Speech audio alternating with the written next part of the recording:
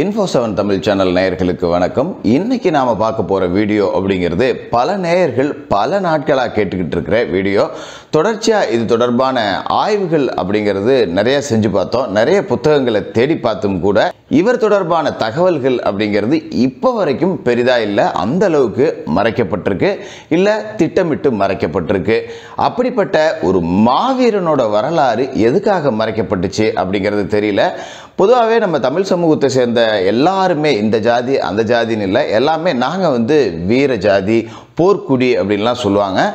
போர்க்குடி வீரம் இதெல்லாம் வந்து ஜாதியை ஒத்து வருதா அப்படிங்கிறது தெரியல. என்னை பொறுத்த வரைக்கும் தமிழ்குடி அப்படிங்கிறதே ஒரு மிகப்பெரிய போர்க்குடி தான் அப்படிப்பட்ட தமிழினத்தில் பிறந்த எல்லா சாதியிலும் வீர மறவர்கள் இருக்காங்க அப்படிங்கிறதுக்கு இன்னைக்கு நாம பார்க்க போற மனிதர் ஒரு ஆகச்சிறந்த உதாரணம் அப்படின்னு தான் சொல்லணும். யார் அந்த மிகப்பெரிய வீரன் அப்படின்னு பார்த்தோம்னா தேவர் சமூகத்தை சேர்ந்த மிகப்பெரிய மன்னரான பூலித்தேவனுக்கு படை தளபதியா இருந்த அருந்ததியர் சமூகத்தை சேர்ந்த ஒண்டி வீரன் தான். இவரோட இயற்பெயர் என்ன அப்படிங்கிறது எவ்வளோ தேடியும் கிடைக்கல. இவரோட பிறப்பு இவரோட தாய் தந்தையர்கள் இது தொடர்பான தகவல்கள் எல்லாமே எங்கேயுமே இல்லை. ஆனால் இவருக்கு ஒண்டி வீரன் அப்படிங்கிற பேர் வந்து இயற்பெயர் கிடையாது. இது இடையில மன்னர் பூலித்தேவனால் சூட்டப்பட்ட ஒரு அடைமொழி தான் எதுக்காக சூட்டியிருக்காரு அப்படின்னாக்க எப்பேற்பட்ட படை வந்தாலும் சரி ஒத்தையால உள்ள புந்து சரமாரியா எல்லாத்தையும் அடிச்சு துவம்சம் பண்ணிட்டு அந்த இடத்துல பூலித்தேவனோட கட்டளையை நிறைவேற்றக்கூடிய ஒரு மாவீரனாக இருந்தவர் தான் இந்த ஒண்டி வீரன். ஒற்றையாளா எப்பேற்பட்ட படையும் சமாளிக்கக்கூடிய திறன் இருந்துச்சு அப்படிங்கிறதாலேயே இவருக்கு ஒண்டி வீரன் அப்படிங்கிற அடைமொழியை மன்னர் பூலித்தேவன் வச்சிருக்காரு.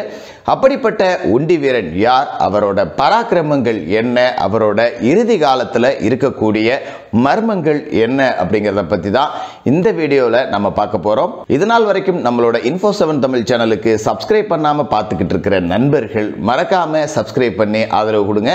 தொடர்ச்சியாக என்னோட வீடியோக்கள் உங்கள் தேடி வரும்.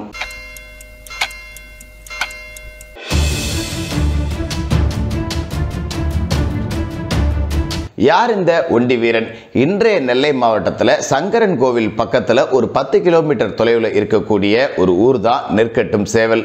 இந்த பாளையத்தை அந்த காலகட்டத்தில் நெற்கட்டும் பாளையம் அப்படின்னு சொல்லுவாங்க. குறுநில மன்னர்கள் நிறைய பேர் ஆட்சி செஞ்சக்கூடிய பாளையமாக இருக்குது இங்கே இருக்கக்கூடிய குறுநில மன்னர்கள் எல்லாமே மன்னர்களுக்கு வரியாக நெல்லை கட்டுறதால இந்த பகுதிக்கு நெற்கட்டும் சேவல் அப்படிங்கிற பேர் வந்ததா சொல்லப்படுது.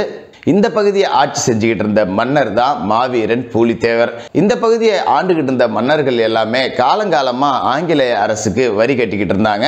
பூலித்தேவர் அவரோட படையில மிகப்பெரிய தளபதியா இருந்தவர் தான் அருந்ததியினர் சமூகத்தை சேர்ந்த ஒண்டி வீரன். இப்படி தொடர்ச்சியா வரிய மற்ற பாளையத்துக்காரர்கள்லாம் கொடுத்துக்கிட்டு இருக்கும்போது பூலித்தேவனுக்கு ஆங்கிலேய அரசாங்கத்துக்கு வரி கட்டுறதுக்கு மனசு இல்லை.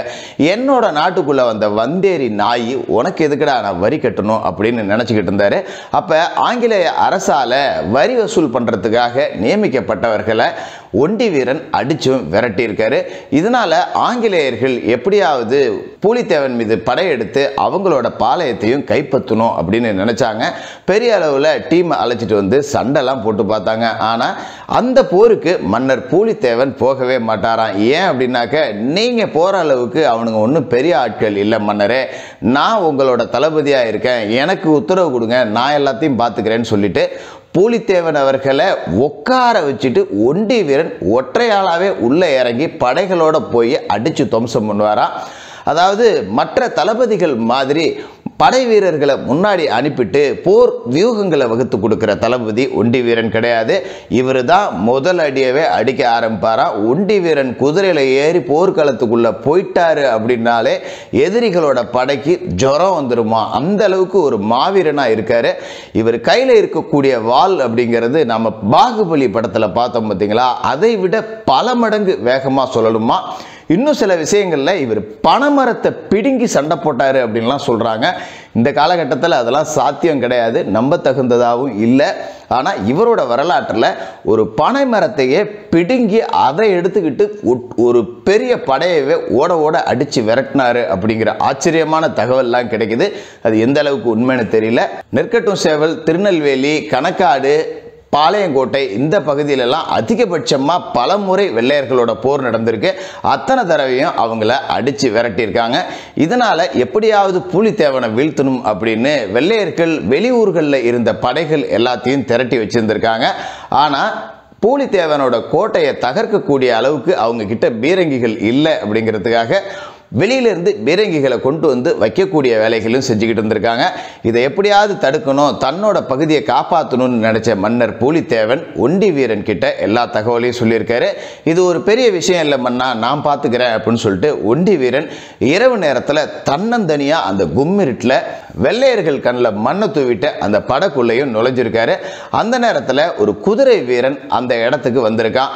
அவங்கிட்ட இருந்து மறையணும் அப்படிங்கிறதுக்காக உடல் முழுக்க இலைதலைகளையும் புற்களையும் போட்டுக்கிட்டு படுத்துட்டாராம் அந்த குதிரை வீரன் குதிரையை கட்டுறதுக்காக ஈட்டியை தரையில் சொருவிருக்கான் அந்த ஈட்டியானது இலைதலையோட மறைஞ்சு படுத்திருந்த ஒண்டி வீரனோட வலது கையில் குத்தி இருக்கு இருந்தாலும் சத்தம் போட்டால் வெள்ளையர்கள் பட விழிப்படைஞ்சிரும் அப்படிங்கிறதுக்காக ஈட்டி குத்தின அந்த கையோட வலியை பொறுத்துக்கிட்டு அந்த இடத்துலயே படுத்திருந்திருக்காரு. அந்த வீரன் குதிரையை கட்டிட்டு போன பிறகு அந்த ஈட்டியை பிடுங்கணும்னு பார்த்துருக்காரு. ஆனால் குதிரை பயந்து போய் கணச்சிருமோ? ஏன் அப்படின்னாக்க புது நபர்களை பார்த்தா குதிரைகள் வந்து இயல்பு நிலை இல்லாமல் திடீர்னு குதிக்க ஆரம்பிச்சிடும் ஒருவேளை குதிரை கணச்சி சத்தம் போட்டால் எல்லாருக்கும் தெரிஞ்சிருமோ அப்படின்னு சொல்லிட்டு அந்த கையை பிடுங்காமல் இடது கையால் தன்னோட வாளை உருவி வலது கையை துண்டாக வெட்டி போட்டு தன்னோட வேட்டியை கிழிச்சு தன்னோட கைக்கு கட்டு போட்டுக்கிட்டு நேராக வெள்ளையர்களோட படைக்குள்ளே புகுந்து பீரங்கிகளை பூரா வெள்ளையர்களோட கோட்டையை நோக்கியே திருப்பி வச்சிருக்காரு இருட்டில். திருப்பி வச்ச பிறகு இவர் என்ன பண்ணியிருக்காரு அப்படின்னாக்க நேராக போய் எதிரி படைகள் உள்ளே வந்தால் உடனே போருக்காக ஒரு அபாய ஒளி ஒலி எழுப்புவோம் இல்லையா? அது மாதிரி போர் முரசை வேகமாக அடிச்சுட்டு அங்கேருந்து தப்பிச்சிட்டாரு. உடனே எதிரிகள் படை தான் வந்துருச்சு அப்படின்னு வெள்ளையர்கள் வந்து பீரங்கிகளை இயக்க ஆரம்பிச்சிருக்காங்க. ஆனால் அத்தனை பீரங்கிகளும் வெள்ளையர்கள் கோட்டைக்குள்ளேயே வெடிச்சிருக்கு. ஏன்னா இவர் ஏற்கனவே திருப்பி வச்சதால. இதில் கிட்டத்தட்ட பத்தாயிரத்திற்கும் மேற்பட்ட வெள்ளைய வீரர்கள் இறந்து போயிட்டாங்க. இப்படிப்பட்ட ஒரு பராக்கிரமத்தை பண்ணின ஒண்டி வீரன் எதுவுமே தெரியாத மாதிரி அங்கே இருந்து தப்பிச்சும் போயிட்டாரு. கொரில்லா போர் முறையில் இந்த உலகத்திலேயே சிறந்த மனிதர் அப்படின்னா ஒண்டி வீரன் அப்படின்னு தான் சொல்லுவோம். இன்றைய காலகட்டத்தில் நம்மளுடைய மேதகு பிரபாகரனார் அவர்களோட படை அப்படிங்கிறது கொரில்லா போர் தாக்குதலில் ஒரு மிக சிறந்த படை. அதில் எந்த விதமான மாற்றமும் இல்லை. ஆனால் அந்த காலகட்டத்திலேயே இந்த கொரில்லா யுத்தியை பயன்படுத்தி போர் செஞ்சவர் இந்த ஒண்டி வீரன். ஒரு மிகப்பெரிய படை எதிர்த்து வரும்போது இவரோட ஆட்களை பதுங்க சொல்லிட்டு பின்வாங்கிற மாதிரி போயிடுவாங்களாம். அந்த படை ஊடுருவி வந்த பிறகு பதுங்கி இருந்த எல்லாரும் ஏந்திரிச்சு அந்த படையை சுற்றி ஒரு சக்கர வியூகமே வகுத்து துவம்சம் பண்ணியிருக்காங்க. அந்த அளவுக்கு ஒரு ஆகச்சிறந்த போர் தந்திரவாதியாகவும் இருந்திருக்காரு. இப்படிப்பட்ட ஒரு மாவீரனோட பிற்கால வரலாறு இவரோட மரணம் தொடர்பான தகவல்கள் அப்படிங்கிறது எங்கேயுமே சரிவர இல்லை. வெள்ளையர்களுக்கு எதிராக பீரங்கியை திருப்பி வச்ச அதே விபத்தில் இவரும் இறந்துட்டதாகவும் சொல்லப்படுது. இதனால் முதல் தற்கொலை படை வீரர் ஒண்டி வீரன் அப்படின்னு சொல்லுவாங்க. ஆனால் அதற்கான உரிய ஆதாரங்கள் இல்லை. அந்த பீரங்கி தாக்குதலில் ஒண்டி வீரன் இறந்துட்டாரு அப்படின்னு சொல்கிறதுக்கு எந்த விதமான ஆதாரங்களும் இல்லை. ஆனால் அவர் இறந்துருக்கிறதுக்கான வாய்ப்புங்கிறது தொண்ணூறு சதவீதம் இருக்குது ஏன் அப்படின்னாக்க அதன் பிறகு ஒண்டி வீரன் என்ன ஆனாரு அப்படிங்கிற வரலாறே இல்லை. மன்னர் பூலித்தேவனுக்கு மிகப்பெரிய வலதுகரமாகவும் ஒரு தளபதியாகவும் தலகர்த்தராகவும் இருந்தது. அருந்ததியர் சமூகத்தை சேர்ந்த ஒண்டி வீரன் அவர்கள் தான் ஒண்டி வீரனுக்கு மணிமண்டபம் கட்டணும் அப்படின்னு இரண்டாயிரம் ஆண்டில் மிகப்பெரிய அளவில் கோரிக்கைகள் எழுந்துச்சு. அப்போ அன்றைய அமைச்சராக இருந்த திராவிட முன்னேற்ற கழகத்தை சேர்ந்த பரிதி இளம் வலிதி மூலமாக இதற்கான முன்னெடுப்புகள் செய்யப்பட்டு நாற்பத்தி ஒம்பது லட்சம் ரூபாய் ஒதுக்கவும் பட்டுச்சு. பாளையங்கோட்டையில் கட்டப்பட்ட அந்த மணிமண்டபத்தை ரெண்டாயிரத்தி பதினாறாவது வருஷம் அன்றைய முதல்வரான அம்மையார் ஜெயலலிதா அவர்கள் காணொலி காட்சி மூலமாக தொடங்கியும் வச்சாரு.